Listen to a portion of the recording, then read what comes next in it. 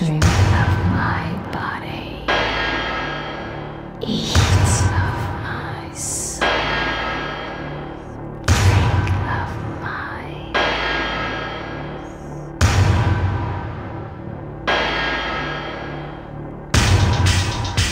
Behold